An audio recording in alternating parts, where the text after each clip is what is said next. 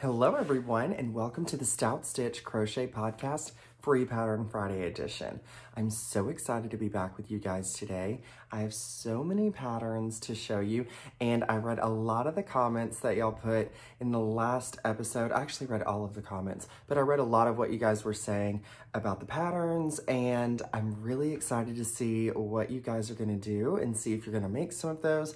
I have some knitting patterns this week. Um, like I said in the last video, I'm not a knitter, so um, I don't know how well I'll be able to explain the patterns to you guys, but at least I will have the links so that you can go to it. If you are a knitter, um, maybe you will see the picture and it might be something that you're drawn to, so you'll want to go and make it. Um, for those of you that are new, this is my second uh, episode, I guess, episode of this um, section of my podcast.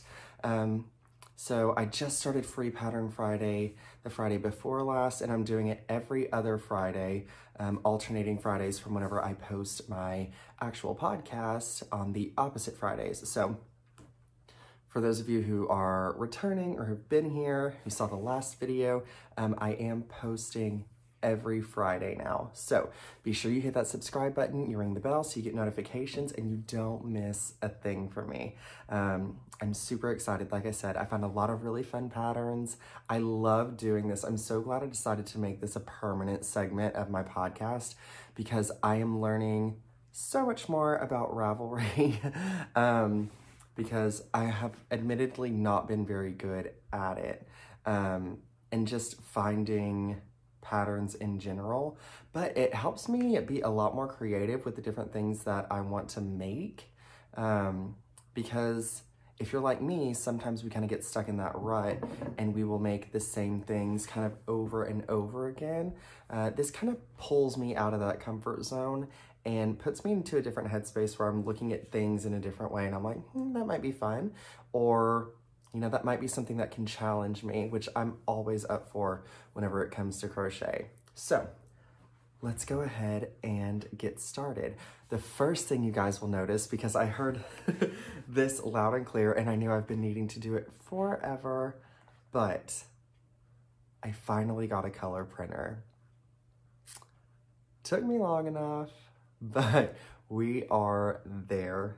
Thank God. So from here on out in every episode, whether it's Free Pattern Friday or my regular podcast, all of my patterns that I print out will be in color, which I feel like will make a big difference um, in how you guys are able to visualize the pattern and decide if it's something that you want to make or not. Even if you don't go with those same colors that the pattern used, sometimes it's good just to see how the designer used it, um, what kind of colors they combine to create, or sometimes it's easier just to see the pattern in general uh, if you are able to see those colors. So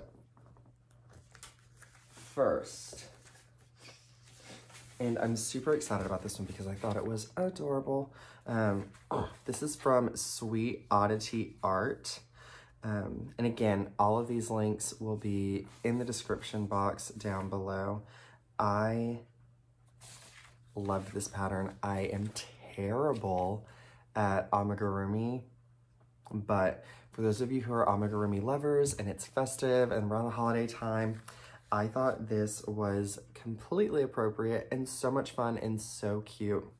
Um, so It's a baby Grinch pattern. um, if you follow the same link, you can also see the pattern for Max, but I didn't print that one out. Um, mostly just the Grinch pattern, but look how cute he is. How adorable is that? Um, and it gives, I mean, detailed step-by-step -step instructions. Um, lots of pictures on how to assemble. If you're like me, I have no idea how to do any of that stuff, so I would need a lot of visuals. Um, but this is real cute. It's 15 inches. It says from the foot to the top of the head um, with a weight four yarn, so a worsted weight yarn and a 3.25 millimeter hook. Um, it does say it's an intermediate skill level. Um, so if you're a beginner or an adventurous beginner, just be cautious of that, um, especially if you haven't done amigurumi before. I will say the first couple of times I tried, I got very frustrated because I think I took on projects that were too advanced for me, and then it kind of, you know, kept me from wanting to do it, um, especially with um, that size 4 yarn. I know it's not very small, but I would almost even start an amigurumi project with bulky because it's just easier. Um, but your choice. So I also like that on this pattern, they have um, contact info. It says if you have any questions or concerns, please do not hesitate to contact me. I'll get back to you within 24 hours. I thought that was really neat that they even put that in the pattern. Um, but yeah, for this, you'll need, like I said, worsted weight number four yarn, uh, 100 grams of the main color, which would probably be that green color, um, unless you wanted to make it in a different color. Completely up to you, your preference. Um, and then 50 to 75 grams of the accent colors. I'm not sure how many accent colors. It looks like there's a few, but it'll say all that in the pattern. Um, you'll also need the safety eyes, the 24 millimeter safety eyes. And one, it says 21 millimeter safety eye that's gonna be used for the nose, which will be real cute. And then of course the fiberfill stuffing and embroidery thread. So there's a lot, a lot going on there. But it still looks really cute. So I hope y'all go and check that out because I think it's adorable.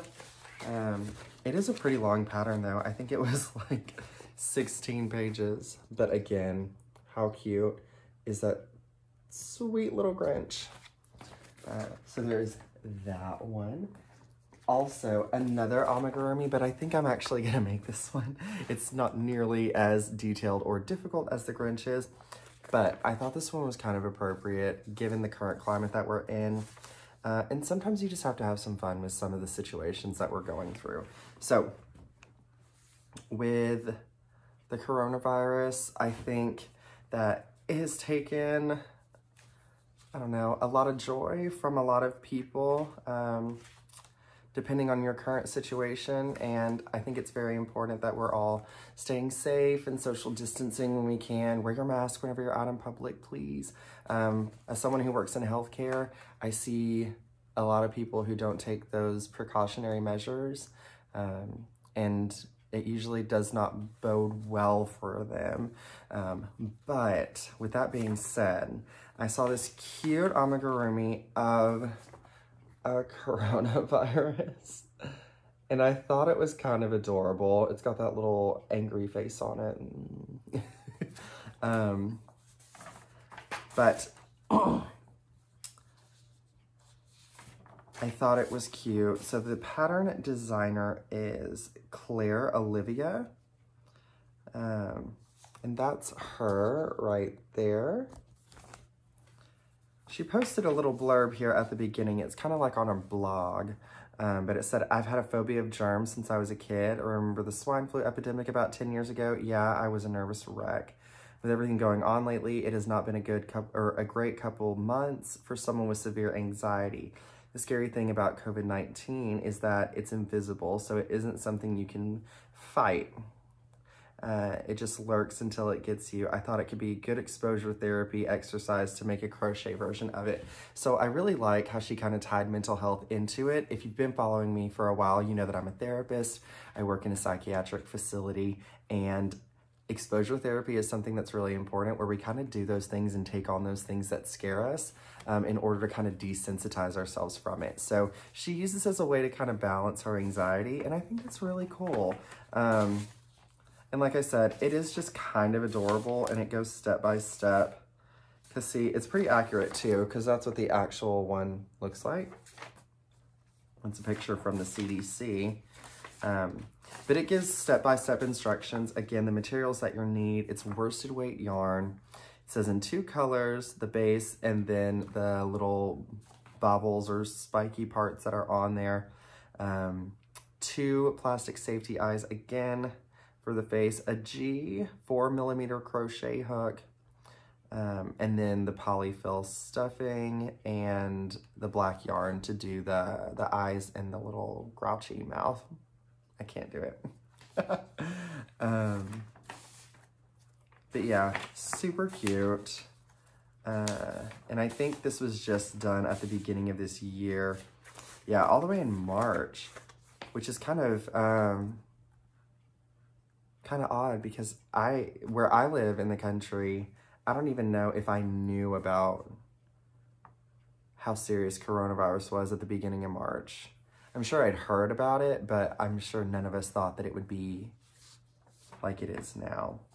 But again, look at that. It's kind of adorable.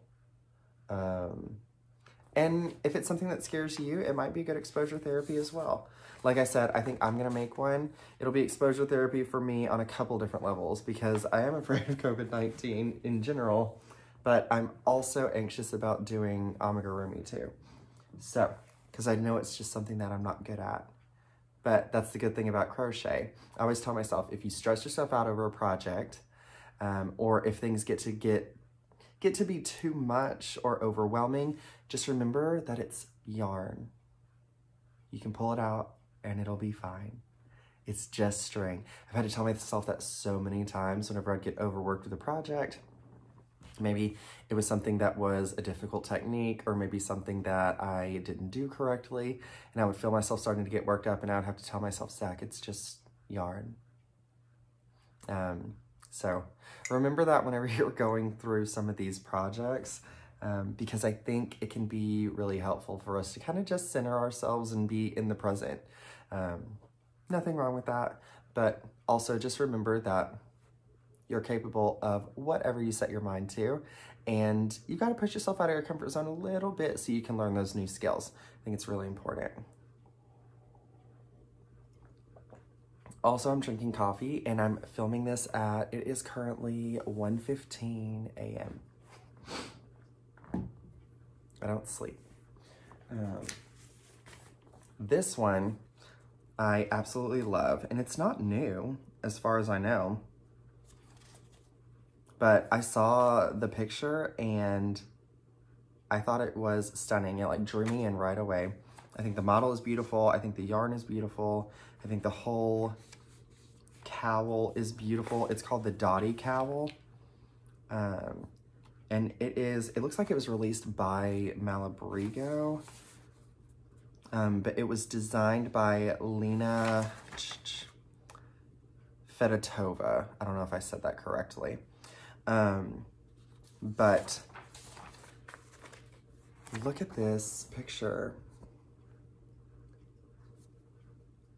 Is that not beautiful? I love that. I think she's beautiful, and I think that cowl is beautiful. And they used Malabrigo sock yarn for it. Um, it's just one size. It looks super cozy, though. I mean, look at that. That's great.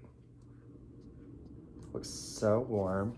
Um, the height is, it says 12 and a half inches. The width is 14 and a half inches. Circumference is 29 inches.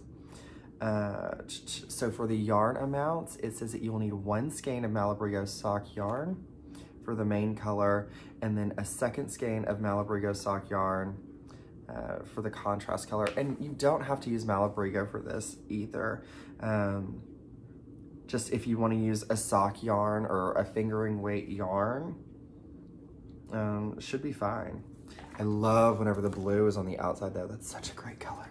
Um, but if you're like me, you may have several fingering weight skeins that you just have singles of. Just find two that kind of complement each other and you could do a really pretty cowl with this. Just make sure that one is probably a lighter color, one's a dark color so that the contrast um, is a lot more sharp and it shows up really neat. But I think that would be great. This is a beautifully written pattern. There's a chart that goes with it. The directions seem easy enough and I am definitely gonna be making this for myself because I absolutely love it. Um, it uses a three and a half millimeter hook. Um, and again, I feel like if you have enough yarn, even that can be subjective. Um, or if you wanted to even make this in a DK weight, Um, that is my favorite weight of yarn to make projects in. Sometimes uh, you may not like to kind of fool with the really thin yarn, like fingering weight yarn. Um, but if you make it with a DK or a worsted weight, you could just adjust the hook size and it could be even just more cozier, snugly. Um, I don't think it said level.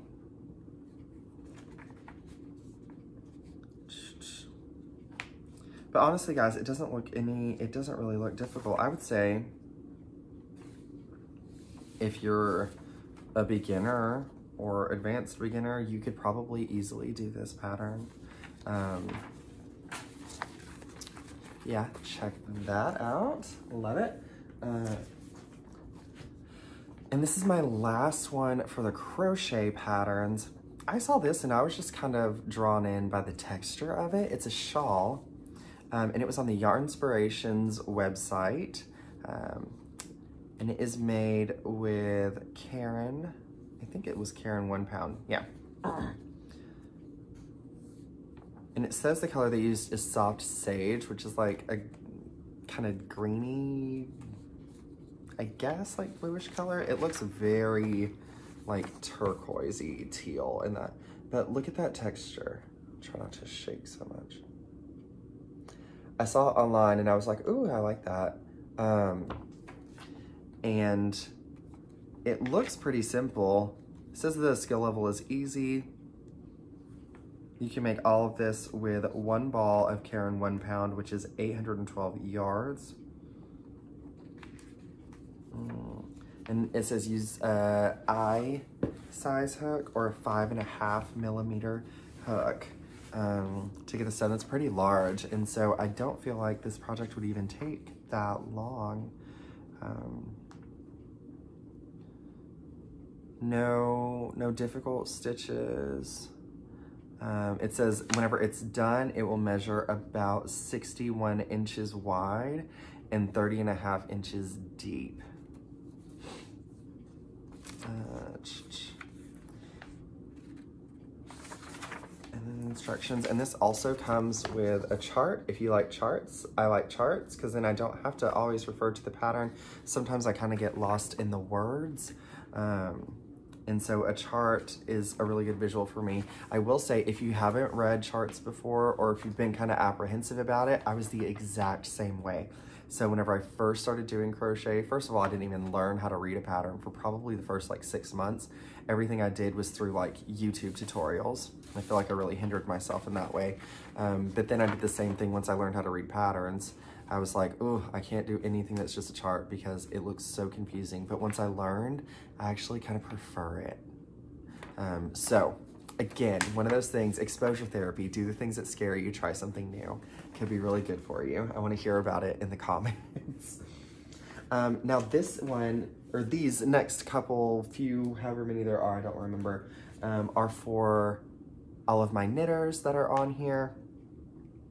Um, I'm trying to be all inclusive, like I said. I found a lot of really good free patterns for knitting. I feel like there are better free patterns for knitting than crochet, or maybe I just don't know where to look. But I feel like some of these, I'm like, how is this free? Because I feel like it's a lot of work and time that went into it. Um, as someone who's only designed a few patterns, I just, I know how much time goes into some of these things. And I think it's amazing that these designers are able to do this. I think it's really cool. This first one is by uh, Espace Tricot, and they have a podcast here on YouTube. I don't think they've uploaded in a few months, um, but they're a yarn shop in Canada. I'm not sure what part of Canada they're in. Um, but I watched their podcast and I'm mildly obsessed. I wish they would come back on uh, because I'm a fan. But this is called The Classic. Um, it's by Melissa and Mona. They're the two women who own Espace Tricot. Um, and it's a sweater. It's hard to see because it is dark. They used a very dark yarn. It looks like um, kind of like a faux turtleneck, long sleeve. but I kind of love that. If I knew how to knit, this would definitely be something I would do. I don't know if I would make it out of yarn that dark. Um, but I think it's beautiful and elegant. Um, it's called The Classic. I don't even know. Never even heard of the kind of yarn that they used, but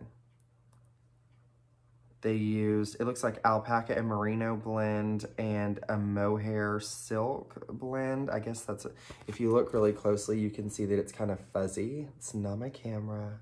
it is the yarn on there. Um, 16 inch circular, four millimeter uh, needles for the ribbing and the cuffs, and then a 16, a 24, and 32 inch circular, 4.5 millimeter needles. Um, gauge is 21 stitches and 28 rounds for 10 centimeters uh, after blocking. So,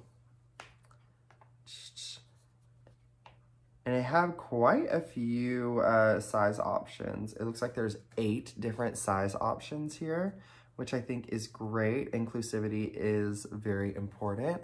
I think whenever you're designing a pattern, um, especially garments, uh, you should want to be as inclusive as possible so more people can make it.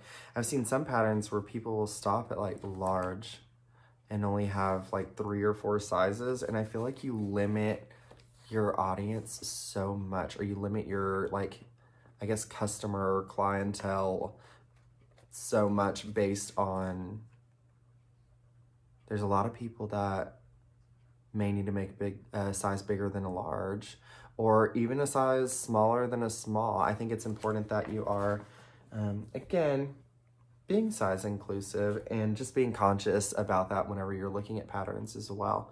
Um, because it can be very confusing um, to some people, especially whenever there's just, uh, you know, extra small, small, medium, large. I actually looked at a pattern um, and decided to not show it on this episode because there were only four sizes available. Um, and if you're like me, a lot of the patterns that uh, I find for sweaters are made for women. And so uh, a lot of times I'm having to make the large size. Um, and I'm not a, a very large man, um, but whenever I'm making female sizes, I size up quite a bit so it fits my my shoulders and my body type. But even the large on this sweater pattern that I had seen did not match um, my chest. And I was like, that's just kind of odd. He would stop at such a small size. Um, but that's just me. Random soapbox. This is another knitting pattern. It is the Jasmine Scarf by Purl Soho. I don't know how um, a lot of you feel about knitting scarves. I know a lot of people say that they get bored with crocheting scarves. I don't know if knitters are the same way, but I just thought this, um, the texture in this was really pretty and kind of classic. Um, I just thought it was beautiful. And I loved the yarn that they uh, chose for it. Um, it looks almost braided. But it looks like they did this all the way back in 2015, so you may know about it already.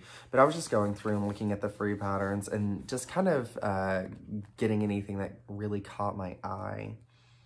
Um, but I feel like it is appropriate because it's winter time almost, I guess. It is December. Um, it's not very cold here where I live. We're still in like the 50s and 60s in South Arkansas. But I know some places are already getting snow. So you might want to make a cozy scarf for yourself. Um, let's see, the materials on this one. It said they used uh, three to four skeins of Purl Soho flax down, which is 43% baby alpaca, 42% extra fine merino, and 15% linen. Again, you may not have to use that yarn. Um, you could probably make this with anything that's in the right size, I'm sure. Um, but that's probably just what they used for uh, their pattern or their version. It does say approximately 876 yards required. It's funny that they put approximately and then give a number so specific as 876 yards. um, they said US 6 straight or circular needle. I honestly don't know what that means, but if you're a knitter, you probably do, so maybe that will let you know what you need to make this project. Um, the gauge is 24 stitches uh, for 4 inches in stockinette stitch, um, and then it's just one size. But I'm sure you could make it as long as you wanted. Yeah, it does say that it's worked over a multiple of 13 plus 9 stitches, and so you could just use that uh, equation to make it make it what you want. But again, I just, I loved it. I loved the texture of it. I thought it was really pretty, uh, and it may not be one that you have seen before. My last one I thought was really cute too. And again, some of these really make me want to learn how to knit because I really wanted to make these because I thought they were super cute. And these are the lambing mitts. And so they're like fingerless gloves.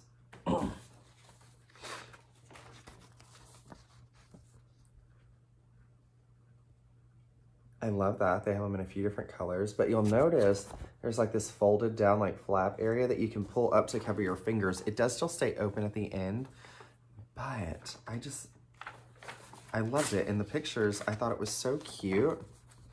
Look at that. I love that. That's so awesome. If there was a crochet version, I would make it. I would start it like tonight.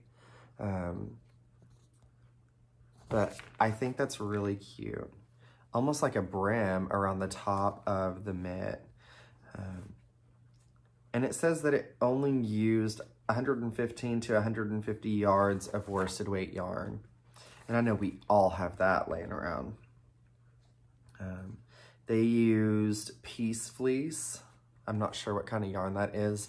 Um, I've never heard of it, actually.